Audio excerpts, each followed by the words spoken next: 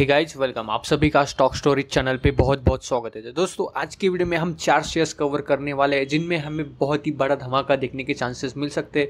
तो इन शेयर्स में आपको नज़र रखनी चाहिए। कल के दिन बहुत ही बड़ी न्यूज़ हमें सामने आते हुए देखने को मिल सकती है, क्योंकि इनके क्वार्टर टू के नतीजे हमें सामने आते हुए देखने को मिल सकते हैं। और साथ ही साथ वो शायद डिविडेंड भी अनाउंस कर सकती है। तो डिविडेंड कितना रुपये का हो सकता है? अगर डिविडेंड अनाउंस करती है और उनका रिकॉर्डेड एक्स डेट क्या हो सकते हैं, वो भी हम जानने की कोशिश करेंगे। एक दिग्गज कंपनी के अलग अलग सेक्टर के दिग्गज कंपनी है तो आपको इन शेयर्स में नज़र रखनी बहुत ही ज़रूरी है। तो बड़ी रैली आने रैली आना मुमकिन हो सकता है और फ़िलहाल तो अभी चारों शेयर्स हमें ब्रेकआउट के लेवल पे आसपास ट्रेड करते हुए देखने को मिले। अगर नतीजे अच्छे आते हैं तो हमें डेफिनेटली यहाँ पे रैली आना मुमकिन हो सकता है। तो एक एक शेयर्स एक एक चार एक शेयर्स हम कवर करेंगे। तो इस वीडियो को शुरू करने से पहले दोस्तों अगर आप शेयर मार्केट में इंटरेस्टेड हो तो आपके पास डिमेट अकाउंट होना बहुत ही ज़रूरी होता है। तो, तो मैंने नीचे अब स्टॉक की लिंक दे दी है। वो लिंक यूज़ करके आप पंद्रह मिनट में ही शेयर मार्केट से जुड़ जाते हैं। अभी बात करते चलते स्टार्टिंग तो एक एक शुरुआत से, एक एक शेयर से शुरुआत करते। तो फ़र्स्ट शेयर दोस्तों हमारा L N T Larsen and Toubro limited अगर इनका करंट मार्केट प्राइस देखेंगे, नौ सौ चौहत्तर के आसपास से फ़िलहाल ट्रेड कर रहा है। मार्केट अभी भी चालू है तो और भी वॉलेटिलिटी देखने को मिल सकती है और भी हमें तेज़ी देखने को मिल सकती है। साढ़े ग्यारह बजे के आसपास हमारे पास डेटा है। दो बज, दो पॉइंट सिक्सटी परसेंट के आसपास इसमें रैली देखने को मिल रही है। अगर ईयर टू डेट की बात की जाए तो इनका अगर लेवल देखेंगे तो उन्होंने अब तक लॉकडाउन जैसे लॉकडाउन हटते चला गया, वैसे ही उन्होंने वन थाउज़ेंड का लेवल क्रॉस नहीं किया। तो अभी चांसेस बहुत है कि इन्होंने वन थाउज़ेंड का लेवल क्रॉस सकता है, अगर नतीजे इनके अच्छे आते लेकिन एक्सपेक्ट यही कर रहे हैं कि इनके नतीजे अच्छे आना मुमकिन हो सकता है। इंफ्रास्ट्रक्चर का ये शेयर्स है दोस्तों सेक्टर अगर इनकी जो सिक्स महीने का भी चार्ट पैटर्न देखेंगे तो यहाँ पे आप गौर कर सकते हो। आपको यहाँ पे नज़र आएगा, एक बार उन्होंने टच किया था वन थाउज़ेंड का लेवल लेकिन उसके ऊपर ये सस्टेन नहीं कर पाया। लेकिन ये शेयर है ना दोस्तों धीरे धीरे मतलब स्लोली स्लोली भागते हुए देखने को मिल रहा है। इसमें बहुत ही वॉलेटिलिटी देखने को मिल रही है। अगर वन थाउज़ेंड का लेवल भी उन्होंने क्रॉस किया था, लेकिन सडनली उसके बाद हमें लगातार डाउनवर्ड जाते हुए देखने को मिला आठ सौ पचास का लेवल उन्होंने नीचे की तरफ़ टच किया था। उसके बाद यहाँ पे आप, अभी फ़िलहाल तो अप ट्रेंड जाते हुए देखने को मिल सकता है और जल्द से जल्द अभी वन थाउज़ेंड का लेवल भी ये जल्द से जल्द हमें ब्रेकआउट वर्कआउट करते हुए देखने को मिल सकता है। तो इस शेयर्स में भी आपको डेफिनेटली नज़र रखनी चाहिए। अगर एन के ऊपर अगर डेटा देखेंगे तो ये शेयर्स तो कंपनी है दोस्तों। अपने क्वार्टर टू के नतीजे के साथ साथ स्पेशल डिविडेंड भी इन्होंने अनाउंस कर दिया है। अगर अनाउंस करती है तो उनकी जो बोर्ड मीटिंग है, वो फिक्स हो जाएगी। अगर यहाँ पे अगर गौर करेंगे तो यहाँ पे डिक्लेयर होने के चांसेस बहुत हमें देखने को मिल रहे हैं। 28 अक्टूबर 2020 मतलब कल के दिन to consider dividend special dividend वो अनाउंस करने के चांसेस बहुत है। और जो फाइनेंशियल रिज़ल्ट है वो हमें कल के दिन देखने को मिल सकता है। अगर इनके कॉर्पोरेट एक्शन देखेंगे तो यहाँ पे अगर गौर सक, कर सकते हो कि डिविडेंड देने में कैसे कंपनी अपने शेयर होल्डर को जितना भी प्रॉफिट होता है वो अपने शेयर होल्डर से बांटती आ रही है। अगर यहाँ पे गौर करेंगे पाँच अगस्त 2020 को आठ रुपये का चौबीस मार्च 2020 को दस रुपये का इतने प्रेशर्स हो हो जाओ होने के बावजूद भी इस कंपनी अपने शेयर होल्डर को कितना ध्यान रख रही है, अपने डिविडेंड देती आ रही है।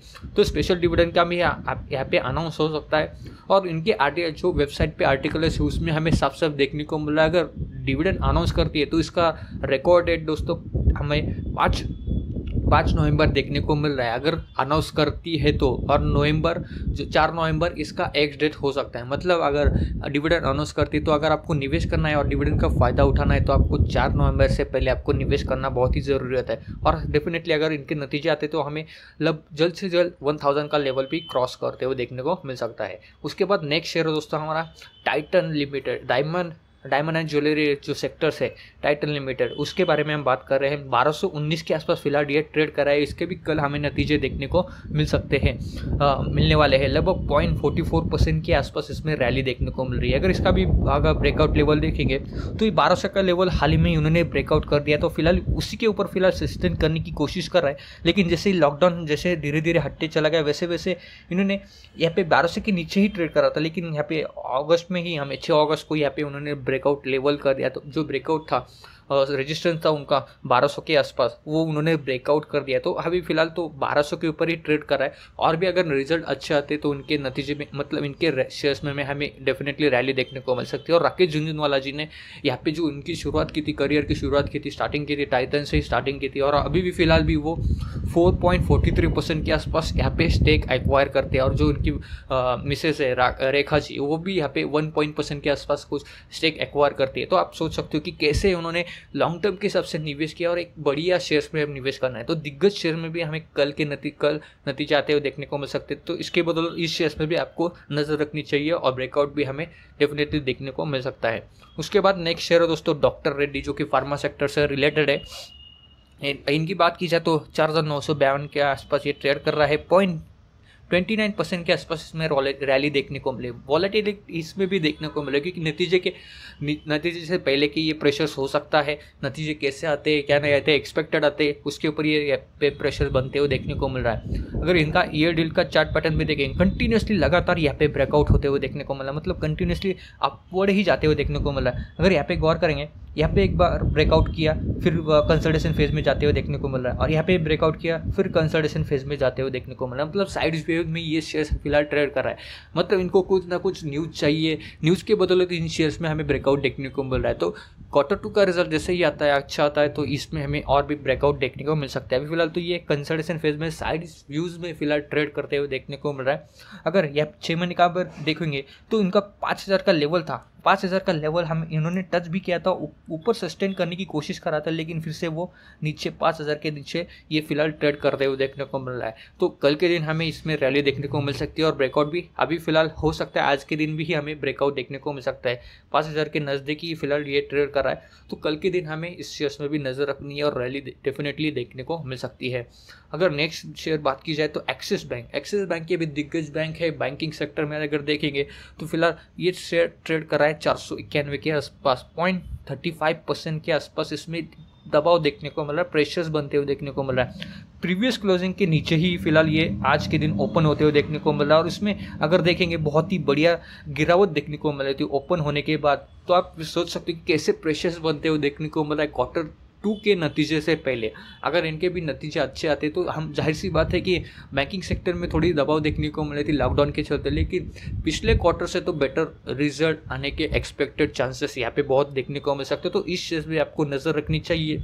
अगर इनका भी लेवल देखा जाए तो अगर देखेंगे यहाँ पे तो 400 के लेवल पे ही फ़िलहाल ये ट्रेड कर जैसे लॉकडाउन हटता चला गया, वैसे वैसे इन में इन्होंने रैली अब तक नहीं दिखाई है 500 का लेवल यहाँ पे उन्होंने क्रॉस टच किया था। यहाँ पे अगर गौर गए छः महीने का चार्ट पैटर्न में, एक बार उन्होंने 500 का लेवल भी ब्रेक ब्रेकआउट कर दिया था अट्ठाईस अगस्त को। उसके बाद यहाँ पे नीचे ही ट्रेड करा है। मतलब यहाँ पे पाँच सौ का लेवल उन्होंने सस्टेन नहीं कर पाए। तो अभी फ़िलहाल चांसेस बहुत है कि इनके पाँच सौ के लेवल हमें ब्रेकआउट देखने को मिल सकते हैं। तो इस शेयर्स में भी आपको डेफिनेटली नज़र रखनी चाहिए। क्वार्टर टू के नतीजे अच्छे रहते हैं तो डेफिनेटली इन शेयर्स में अभी रैली देखने को मिल सकती है। लेकिन आप सभी को पता कि कोटक महिंद्रा बैंक का जो क्वार्टर टू का नतीजे थे तो अच्छे नतीजे के बावजूद हमें बा, मतलब न, अच्छे नतीजे के बाद हमें बहुत ही बढ़िया रैली देखने को मिल रही है। कोटक महिंद्रा से शुरुआत हो चुकी है बैंकिंग सेक्टर के जो क्वार्टर टू के नतीजे तो नतीजे के बाद भी हमें देखेंगे तो नौ परसेंट के आसपास इसमें रैली देखने को मिले। तो आशंका यही है कि एक्सिस बैंक में भी उतनी बढ़िया तेज़ी से हमें रैली देखने को मिल सकती है। तो डेफिनेटली इस शेयर्स में भी आपको नज़र रखनी चाहिए। कोटक महिंद्रा बैंक भी हो या एक्सिस बैंक एक्सिस बैंक की बहुत ही बढ़िया लेकिन अगर इनका लेवल देखेंगे स्टार्टिंग का जो आ, साल का जो हाई हाई देखेंगे तो 800 साढ़े सात सौ के लेवल पे इन्होंने इनका जो हाई देखने को मिला था।